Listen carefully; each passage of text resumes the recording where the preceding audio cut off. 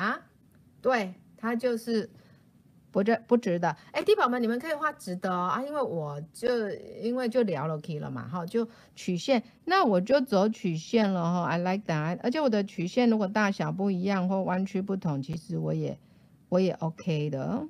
这里好，这个格子这样就可以，而且你可以重复都是这样旋转，只要你记得路。但是我们所获得的共识呢？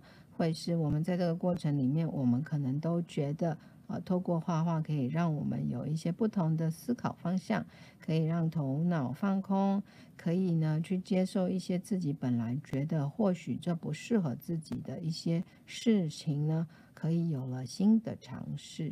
来，你看看下面这一条是不是就很好看？所以你所有的东西你也可以是这样做的，你的作业都是同样，但是因为你的旋转不同，你做出来的阴影就会变得有。